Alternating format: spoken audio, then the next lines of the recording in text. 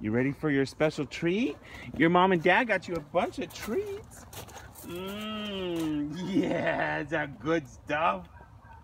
Yes, good stuff.